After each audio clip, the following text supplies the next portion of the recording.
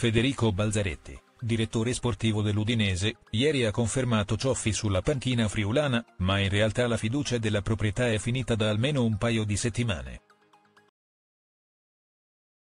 E la decisione potrebbe essere quella di sollevarlo dall'incarico ancor prima del recupero dei minuti che mancano giovedì contro la Roma.